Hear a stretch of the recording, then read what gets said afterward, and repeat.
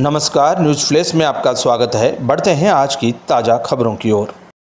खबर, पिंडवाड़ा से है, जहाँ झाड़ोली स्वामी विवेकानंद राजकीय मॉडल स्कूल में स्वच्छता पखवाड़े के तहत हो रही शाला स्वच्छता और पौधों की देखरेख।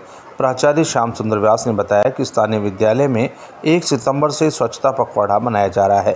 संस्था प्रधान के निर्देशन में प्रथम दिवस स्वच्छता शपथ का आयोजन हुआ, जिसमें संस्था प्रधान ने सभी स्टाफ सदस्यों और विद्यार्थियों को शपथ दिलवाई और पखवाड़े के तहत पौधारोपण प्रभारी सोनाराम मीणा के निर्देशन में छात्रों द्वारा पूर्व में रोपे गए पौधों की देखरेख की गई।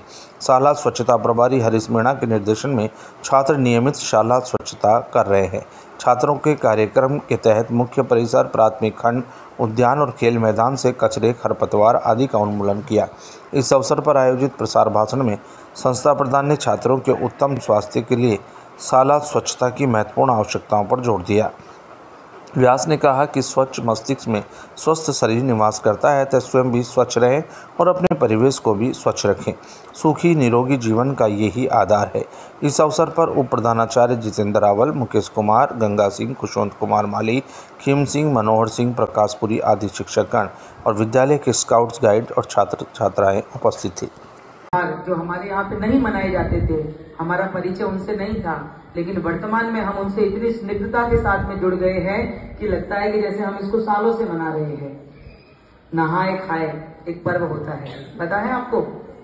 हाँ छठी माई का पर्व जिसको कहते हैं, वो बिहार का बहुत बड़ा लोकप्रिय पर्व है, लेकिन वो केवल बिहार वासियों के लिए ही है। कुछ कुछ मगही आदि उत्तर प्रदेश से जुड़े हुए जो क्षेत्र है, जहाँ पे वो संस्कृति को मानने वाले लोग रहते हैं, वहाँ भी वो मनाया जाता है, लेकिन वो नहाए खाए तीन दिन का पर्व जो है, वो अब पूरे भारत के अंदर इतना लोकप्रिय हो गया है, जैसे हमारी होली जो है, वो अंतर्राष्ट्रीय स्तर पे ऑस्ट्रेलिया के अंदर बहुत लोकप्रिय है।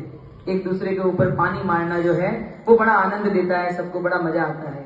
और वो होली हमारे यहाँ पे जो है, वो एक दूसरे के ऊपर रंग लगाना या रंग उड़ाने के प्रतीक के रूप में हम सदियों से मनाते आए हैं। तो सांस्कृतिक आदान प्रदान के अंदर हमने दूसरी संस्कृतियों से बहुत कुछ ग्रहण किया और हमारे देश की संस्कृति जो है, वो वास्तव में अक्षुण्ण है और विलक्षण है। तो हमारी सांस्कृतिक